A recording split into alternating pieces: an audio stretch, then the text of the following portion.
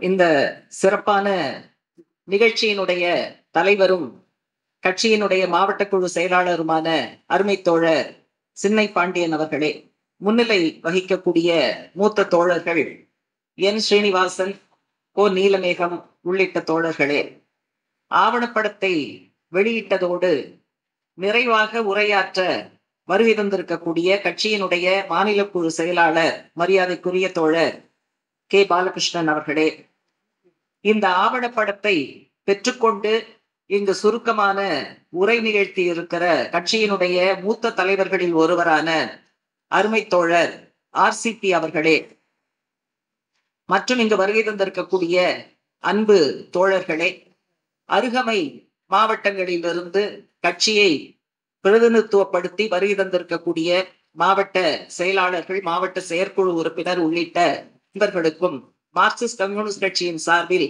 என்னுடைய புரட்சிகரமான வணக்கத்தை உரித்தாக்குகிறேன். இந்த நிகழ்ச்சி அழைப்பிதழ்ல ஆவணப்பட வெளியீடு அப்படின்னு நம்ம போட்டிருந்தா கூட என்னை பொறுத்தவரை இது வந்து ஒரு முப்பெரும் விழாவாகத்தான் நான் பார்க்கிறேன். ஒண்ணு மே தினத்தை நாம் கொண்டாடி முடித்திருக்கிறோம். அதனுடைய பின்புலம் நமக்கு முன்னால் இருக்கிறது. இரண்டாவதாக இன்றைக்கு மார்ச் இருநூத்தி ஐந்து. அதையும் நாம் நினைவில் வைத்துக் கொள்ள வேண்டி இருக்கிறது மூன்றாவதாக தஞ்சை மாவட்ட தியாகிகளுடைய வரலாறு கடல் போன்றது. அதிலே ஒரு சில துளிகளை நாம் ஆவணமாக உருவாக்கி இருக்கிறோம். அதனுடைய வெளியீட்டு நிகழ்ச்சி. அதனால இது மூணுமே சேர்ந்து ஒரு முப்பெரும் விழாவாக களைகட்டக்கூடிய விதத்துல இது துவங்கி இருக்கிறதுங்கிறத நான் மகிழ்ச்சியோட குறிப்பிட விரும்புகிறேன். இதை சாத்தியமாக்கி இருக்கக்கூடிய மார்க்சிஸ்ட் கம்யூனிஸ்ட் கட்சியின் தஞ்சை மாவட்ட குழுவுக்கும் இந்த ஆவணப்படத்தை உருவாக்கி இருக்கக்கூடிய தமிழ் மார்க்ஸ் குழுவினர் குறிப்பாக அருமை தோழர் பாலமுருகன் மணிகண்டன் ஆகியோருக்கும் இந்த தருணத்துல என்னுடைய நெஞ்சார்ந்த வாழ்த்துக்களை உரித்தாக்கி கொள்ள விரும்புகிறேன். மாதம் முழுவதும் பல்வேறு வடிவங்கள்ல மேதின கூட்டங்களும் அதுல நம்ம முன்வைக்க வேண்டிய கருத்துக்களும் பிரச்சாரமாக தொடர்ந்து நடக்குங்கிற நம்பிக்கை எனக்கு இருக்கு. ஆனா இன்றைக்கும் நூத்தி முப்பத்தி ஏழாவது மே தினம் இன்றைக்கும் பொருத்தப்பாடு இருக்கக்கூடிய நிகழ்வாக இருக்கிறதுங்கிறத நான் குறிப்பிட விரும்புறேன். அன்றைக்கு சிக்காகோ நகரத்தினுடைய ஹே மார்க்கெட் சதுக்கத்துல எட்டு மணி நேரம் தான் வேலை செய்வோம் என்று குரல் கொடுத்து எட்டு மணி நேர வேலை வேலை எட்டு மணி நேர தூக்கம் ஓய்வு எட்டு மணி நேரம் எங்களுடைய பொழுதுபோக்கு எங்கள் ஆர்வம் எங்களுடைய குடும்பம் என்கிற முறையில் ஒரு நாளின் இருபத்தி நாலு மணி நேரத்தில் மூன்றில் ஒரு பங்குதான் எங்களுடைய உழைப்பு சக்தியை நாங்கள் விற்க முடியும் என்று குரல் கொடுத்த முன்னோடிகளை நினைவு கூறுகிற ஒரு தினம்தான் மே தினம். ஏன் இன்னைக்கு பேச வேண்டி இருக்கு இன்றைக்கும் முதலாளிகள் கார்பரேட்டுகள் தொழிலாளிகளுடைய வேலை நேர வேலை நேரத்தை அதிகரிப்பதற்கு பல்வேறு விதங்கள்ல முயற்சி செய்து கொண்டே இருக்கிறார்கள். அன்றைக்கு சிக்காகோ நகரத்தில் தொழிலாளிகள் பத்தாயிரக்கணக்கில் கூடியிருந்த அந்த இடத்துல யாரோ குண்டை தூக்கி போடுறாங்க. தள்ளுமுள்ளு வருது. இறந்தது காவல்துறை தரப்பிலும் இறப்பு நடக்கிறது. தொழிற்சங்க தரப்பிலும் இறப்பு நடக்கிறது. படுகாயமுற்றது காவல்துறை தரப்பிலும் நடக்கிறது. அதே போல தொழிலாளர்கள் தரப்பிலேயும் நடக்குது. ஆனா அன்றைக்கு இருந்த அரசாங்கம் தொழிற்சங்கத்தை முடக்க வேண்டும் தொழிலாளிகளை ஒடுக்க வேண்டும். இவர்களெல்லாம் ஒன்று கூடி விட்டால் தொழிலாளிகளுடைய கோபாவேசம். அருமை தோழர் ஜீவானந்தம் கூட பாடியிருக்கிறார். கோடிக்கால் பூதமடா தொழிலாளி கோபத்தின் ரூபமடா என்று பாடியிருக்கக்கூடிய அந்த கோபம் வெளிப்பட்டு விட்டால் ஆளுகிற அரசாங்கம் தூள் தூளாகிவிடும் என்பதை ஆளும் வர்க்கம் நினைத்தது பயந்தது. எனவே இந்த போராட்டத்தை ஒடுக்குவதற்கு முயற்சி செய்தது என்பதெல்லாம் நாம் பார்த்திருக்கக்கூடிய வரலாறு. நூற்றுக்கணக்கான பேர் கைது செய்யப்பட்டார்கள். இறுதியாக எட்டு பேருக்கு தூக்கு தண்டனை. அதிலே நான்கு பேர் தூக்கு மேடை ஏறினார்கள். இந்த எட்டு தொழிற்சங்க தலைவர்கள் சார்பாக அவர்கள் மீது சுமத்தப்பட்ட குற்றச்சாட்டிற்கு பதில் உரை என்பது அளிக்கப்பட்டது. இப்பவும் நம்ம வந்து இணையதளத்தில் தேடினால் அவர்கள் அளித்திருக்கக்கூடிய பதில் உரை என்பது பல பக்கங்கள் விரிவாக வருகிறது.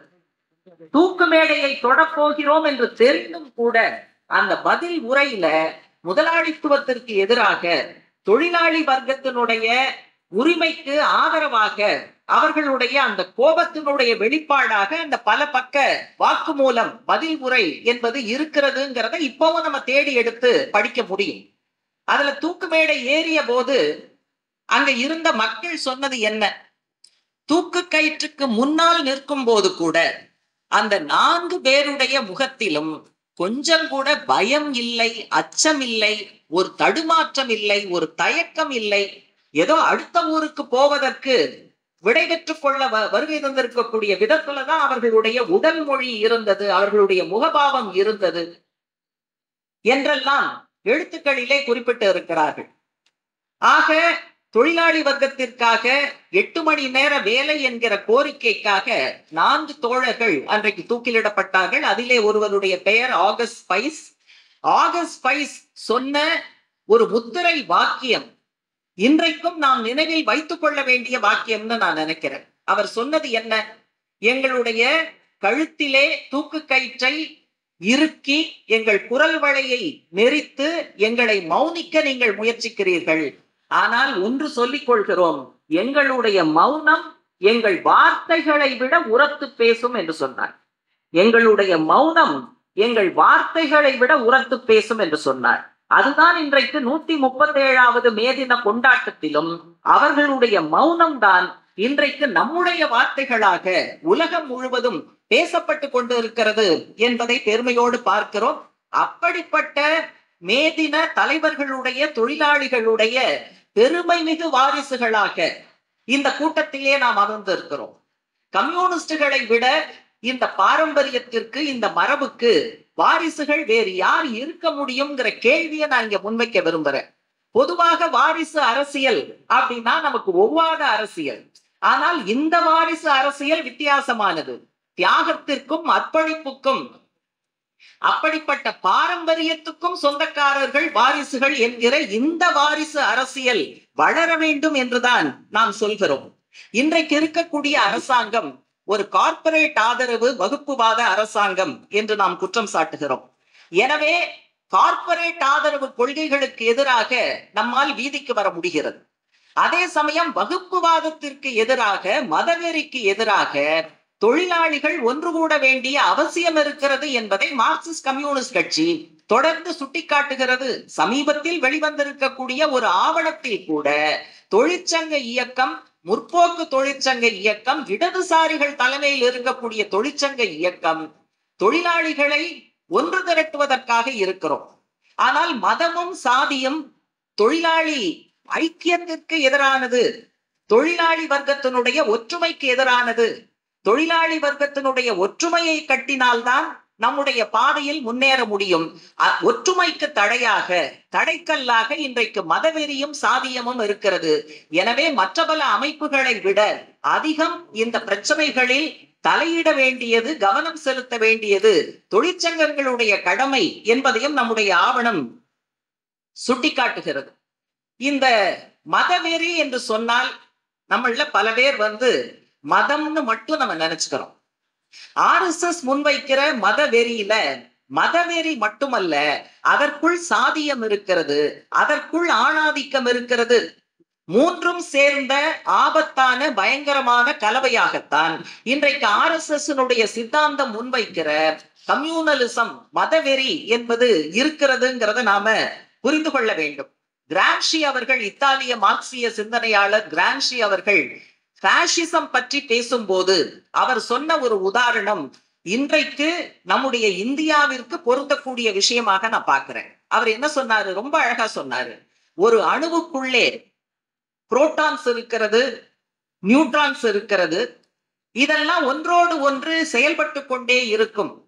ஒரு சமயத்துல இந்த செயல்பாடு முடிவடைந்து அந்த அணுவே மாறி போகும் அதனுடைய தன்மை மாறும் அதனுடைய வடிவம் மாறும். ஒரு புதிய பொருளாக அது பரிணமிக்கும். இந்த புரோட்டானும் நியூட்ரானும் உள்ளே என்ன செய்து கொண்டிருக்கிறது என்கிற நிகழ்முறை ப்ராசஸ் வெளியில கண்ணால பார்க்க முடியாது. ஆனா உள்ளுக்குள்ள நடந்துகிட்டே இருக்கு. திடீரென்று அது வேறு வடிவத்தில் வேறு பொருளாக உருவெடுக்கும் போதுதான் நமக்கு இது மாறி இருக்கிறது என்று தெரியும். ஃபேஷிசம் அப்படித்தான். மக்களுடைய மனதை சலவை செய்து கொண்டே இருக்கும். அவர்களது மூளையிலே சிந்தனை மாற்றத்தை விதைத்துக் கொண்டே இருக்கும் என்று பாசிச அபாயம் குறித்து கிராம்ஷி அவர்கள் நமக்கெல்லாம் எச்சரிக்கை செய்திருக்கிறார். இன்றைக்கு இந்த அரசாங்கம் முன்வைக்கிற இந்த மதவெறி வகுப்புவாத அபாயமும் நம்முடைய மக்களை பிரித்து கொண்டே இருக்கிறது. அவர்களை மூளை செலவை செய்து கொண்டே இருக்கிறது. இந்துக்கள் ஒன்று சேர வேண்டும் என்கிற அந்த போலியான கோஷத்தின் மூலமாக நம்முடைய ஒற்றுமை சிதைக்கப்பட்டு கொண்டே வருகிறது. ஆனா அது நமக்கு கண்ணுக்கு தெரியாது. திடீரென்று ஒரு நாள் தொழிலாளிகள் நிறைந்திருக்கக்கூடிய குடியிருப்பு பகுதியில இந்து தொழிலாளியும் இஸ்லாமிய தொழிலாளியும் கிறித்துவ தொழிலாளியும் ஒருவருக்கொருவர் அடித்துக் கொள்கிற மண்டையை உடைத்துக் கொள்ளுகிற காட்சி வரும். இதைத்தான் பல வட மாநிலங்கள்ல பார்த்து கொண்டிருக்கிறோம். தமிழகம் இதுவரை தப்பி இருக்கிறது பல்வேறு திராவிட இயக்கத்தால் பொதுவுடைமை இயக்கத்தால் நம்முடைய கட்சியினுடைய தலையீடுகளால் நம்முடைய அமைப்புகளுடைய தலையீடுகளால் தமிழக மக்கள் மனதிலே இருக்கக்கூடிய அந்த மைண்ட் செட் காரணமாக ஓரளவு தப்பித்து இருக்கிறது ஆனா இது எத்தனை நாள் தொடரும்னு நம்ம சொல்ல முடியாது. ஆகவே இந்த மனமாற்றம் இந்த சிந்தனை மாற்றத்தை இந்துத்துவவாதிகள் சத்தமில்லாமல் செய்து கொண்டே இருக்கிறார்கள். திடீரென்று அது வெடித்து நம்முடைய நண்பர்களாக சகோதரர்களாக இருப்பவர்கள் திடீரென்று எதிரிகளாக மாறுகிற அபாயமான ஒரு வடிவம் உருவாகும் என்பதை கவலையோடு நாம் பார்க்க வேண்டும். எனவே கிராம்ஷியினுடைய வைர வரிகள் இன்றைக்கும் நம்முடைய அரசியல் சவால்களை எதிர்கொள்வதற்கு ஒரு மிகப்பெரிய உதவிகரமாக இருக்கிறது என்பதை நாம் பார்க்க வேண்டும். இந்த அரசாங்கம் கார்ப்பரேட் ஆதரவு அரசாங்கமாக ஏன் இருக்கிறது? மோடி என்கிற தனிநபர் காரணமா? மோடிக்கு பதிலாக இன்னொருவர் தலைவராக வந்தால் இந்த கொள்கை எல்லாம் மாறிவிடுமா என்றால் இல்லை. உலக அளவுல சர்வதேச நிதி மூலதனத்தினுடைய பிடி அதிகரிக்கும் போது ஏகாதிபத்திய உலகமய காலகட்டத்துல பல்வேறு நாடுகள் நவீன தாராளமய கொள்கைகளை பின்பற்றுவத பின்பற்றுகிற இடத்திற்கு வந்து சேருகிறார்கள். அது ஆளும் வர்க்கத்தினுடைய விருப்பமாக இருக்கிறது ஆளும் வர்க்கத்தினுடைய நலனுக்கு இந்த பாதை என்பது தேவைப்படுகிறது. எனவேதான் இந்தியாவிலும் இப்படிப்பட்ட கொள்கைகள் கடைபிடிக்கப்படுகின்றன இதனுடைய வெளிப்பாடுதான் தொழிலாளர் நல சட்டங்களை வெட்டி சுருக்கி ஒரு நான்கு தொகுப்பாக மாற்றி இருக்கக்கூடிய மிக மோசமான விஷயம். கர்நாடக மாநிலத்துல இப்போ கேஜிஎஃப்ல தேர்தல் பிரச்சாரத்துக்காக நான் போனேன்.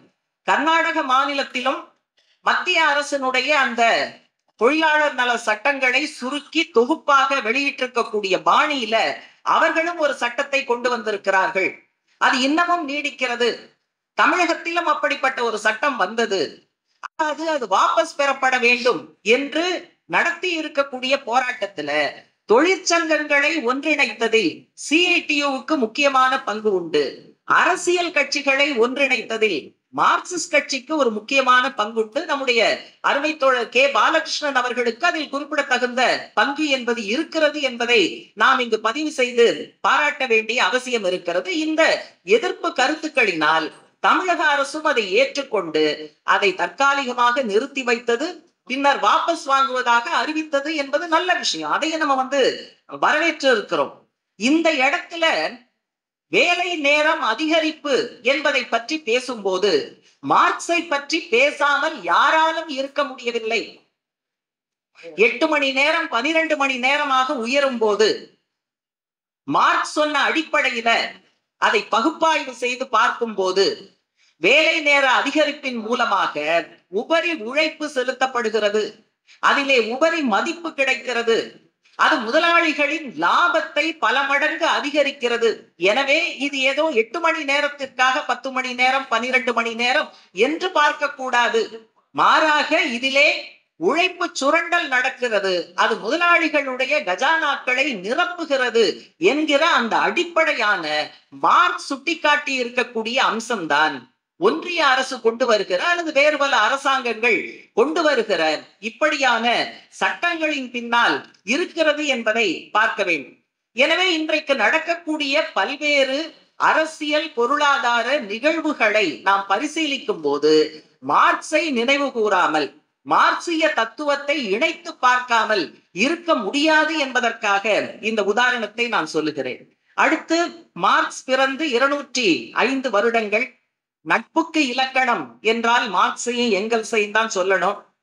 மார்க்ஸ் இறந்த பிறகு ஏங்கல் சொன்ன ஒரு அழகான வரி மார்க்ஸ் சிந்திப்பதை நிறுத்தி கொண்டார். சிந்திப்பதை நிறுத்தி கொண்டார். அந்த அந்த அந்த வேதனையிலும் துயரத்திலும் கூட ஏங்கல் சொல்லுவதில் ஒரு அழகியல் வெளிப்படுகிறதுங்கிறத நம்ம பார்க்கணும். அதே போல காதலுக்கு இலக்கணம் என்று சொன்னால் மார்க்ஸும் ஜென்னியும் என்பதை நாம் நினைத்து பார்க்க வேண்டும். ஜென்னி அவர்கள் இறந்த போதே மார்க்ஸும் இறந்து விட்டார் என்று எங்கல்ஸும் மற்றவர்களும் குறிப்பிட்டு இருப்பதை பார்க்கும்போது இணையர்களுக்கு இடையிலே இருந்த அற்புதமான அந்த குடும்ப உறவு காதல் உறவு திருமண உறவு எப்பேற்பட்டதாக இருந்தது என்பதையெல்லாம் நாம் புரிந்து கொள்ள முடியும். என் கடன் பணி செய்து கிடப்பதே என்பதை கேள்விப்பட்டு இருக்கிறோம் மார்க்சினுடைய கடன் என்பது வாசிப்பு எழுதுவது அத்தோடு நிற்கவில்லை. நேரடியாக களத்தில் இறங்கி தொழிலாளி வர்க்க உரிமைக்காக போராடியது. இதுதான் மார்க்சனுடைய வாழ்க்கையாக இருந்தது. இயக்கவியல் பொருள் முதல்வாதம் வரலாற்றியல் பொருள் முதல்வாதம் போன்ற பல முக்கியமான சமூக அறிவியல் விதிகளை கோட்பாடுகளை நாம் புரிந்து கொள்ளக்கூடிய விதத்துல எளிமைப்படுத்தி இந்த உலக சமூகத்திற்கு முன்னால் வைத்த மகத்தான விஷயத்தை செய்திருக்கிறார். எதை எதிரி என்று நினைக்கிறோமோ எதை முறியடிக்க வேண்டும் என்று நினைக்கிறோமோ அதை பற்றி நாம் ஆழமாக புரிந்து கொள்ள வேண்டும் என்பதற்காக முதலாளித்துவத்தை அவர் படித்தார். மூலதனம் என்கிற நூலை எழுதினார். கடுமையான வறுமை. இதெல்லாம் வந்து இப்ப வந்திருக்கக்கூடிய கட்டுரைகள்ல நீங்க வந்து படிச்சிருப்பீங்க. வறுமைக்கு நடுவுல உடல் நல பாதிப்பு. நீண்ட நாளாக தன்னை மார்க்ஸ் வந்து பார்க்கவில்லை தன்னோடு தொடர்பு கொள்ளவில்லை என்று ஒரு நண்பர் கோபித்துக் கொண்ட போது மார்க்ஸ் அவருக்கு எழுதிய கடிதத்துல நீங்க இந்த மாதிரி வருத்தப்பட்டிருக்கீங்க. ஆனா என்ன செய்வது? என்னுடைய உடல் நலன் அறிக்கப்பட்டு கொண்டே வருகிறது. என்னைக்காவது என்னுடைய உடல் நலன் கொஞ்சம் இம்ப்ரூவ் ஆச்சுன்னா பெட்டர் ஆச்சுன்னா உடனடியாக மூலதனத்தை எழுதி முடிக்க வேண்டும் என்கிற ஆர்வத்துல எழுத்து பணியை துவங்கி விடுகிறேனே தவிர உங்களை போன்ற நண்பர்களோடு தொடர்பு கொள்ள வேண்டும் என்கிற எண்ணமே எனக்கு வரவில்லை அப்படிங்கிற விளக்கத்தையும் அவர் கொடுத்திருக்கிறார். அதனாலதான் இது வந்து அறிவியல் விதின்னு சொல்றோம். மார்க்சியம் வந்து வரட்டு சூத்திரம் அல்ல. அது வளர்ந்து கொண்டே இருக்கும். ஒவ்வொரு நாட்டினுடைய தன்மைக்கேற்ப செழுமைப்பட்டு கொண்டே இருக்கும் என்பதை மார்க்சினுடைய இருநூத்தி ஐந்தாவது பிறந்த தினத்துல நாம எண்ணி பார்க்க வேண்டும். பல பேர் இங்க மண்ணுக்கேற்ற மார்க்சியம்னு பேசுவாங்க. மார்க்சியத்தினுடைய சாராம்சமே திட்டவட்டமான சூழலை துல்லியமாக ஆய்வு செய்வது. ஒண்ணு இல்ல மார்க்சிஸ்ட் கம்யூனிஸ்ட் கட்சிக்கு ஒரு திட்டம் இருக்கிறது. இந்தியாவில எப்படிப்பட்ட இலக்கை நோக்கி மக்கள் ஜனநாயக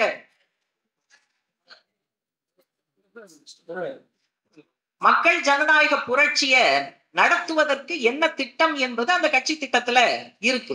அதுல முக்கியமான விஷயம் என்னன்னா இந்திய அரசு குறித்த ஒரு பகுப்பாய்வு.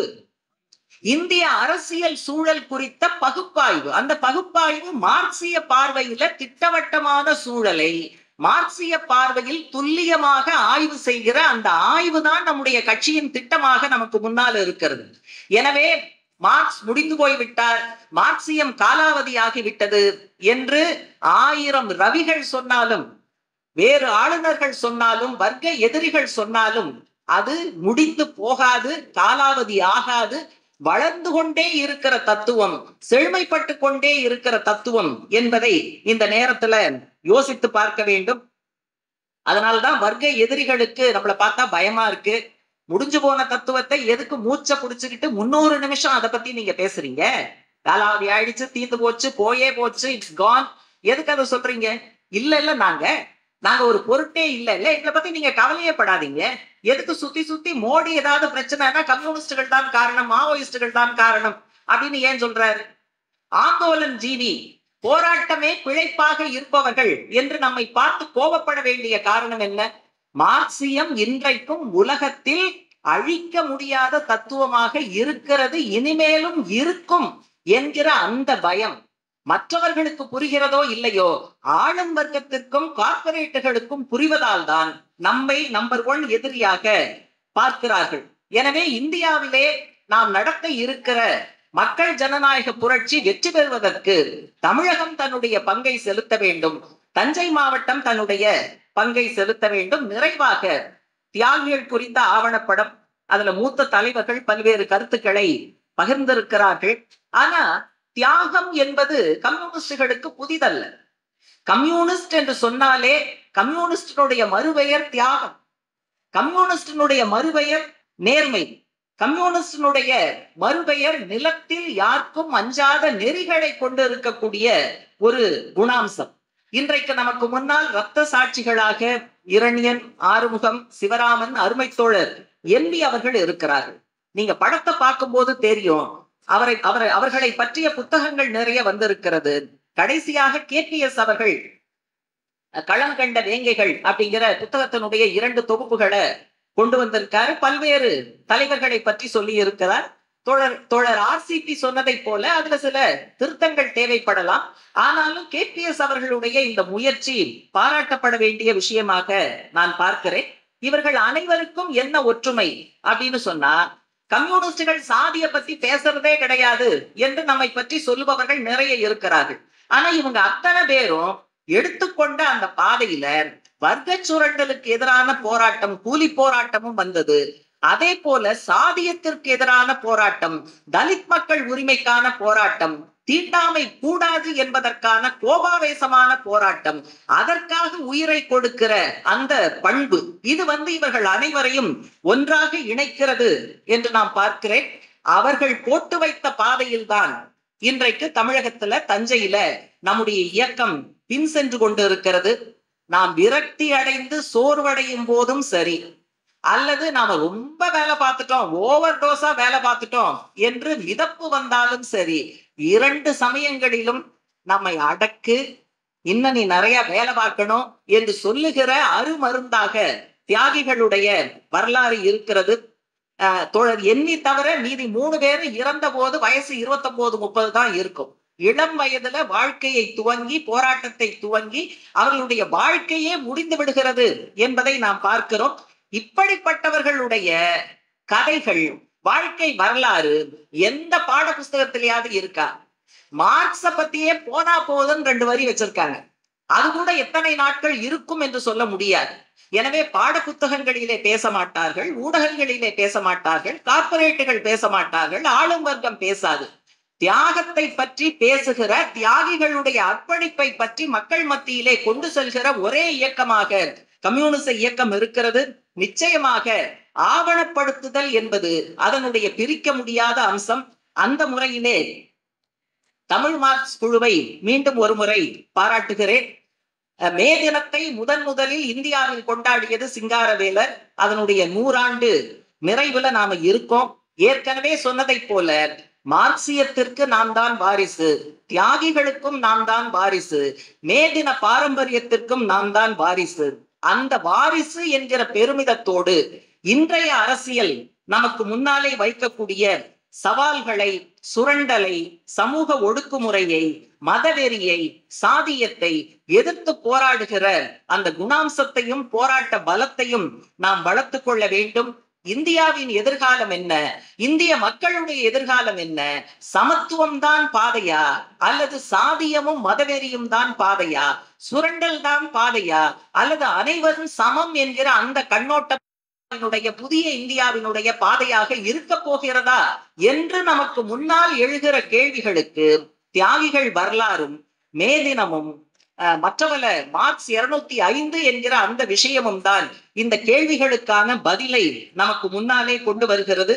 எனவே வளங்கள் சிலரிடம் வறுமை பலரிடம் என்பதை மாற்றுகிற மக்கள் ஜனநாயக புரட்சி வெற்றி பெறுவதற்கு வலுப்படுவதற்கு அதற்கான முன் தயாரிப்புகளுக்கு தஞ்சை மாவட்ட தோழர்கள் கூடுதலாக பணியாற்ற வேண்டும். தியாகிகளை நினைவு கூர்ந்து அவர்களுடைய சேவைக்கு நாம் நன்றி செலுத்துகிறோம் என்றால் அது நம்முடைய வார்த்தைகளில் இருக்கக்கூடாது. வாழ்க்கையில் இருக்க வேண்டும் நடைமுறையில் இருக்க வேண்டும் என்று சொல்லி மீண்டும் ஒரு முறை என்னுடைய பாராட்டுக்களை தெரிவித்து நிறைவு செய்கிறேன். நன்றி வணக்கம்.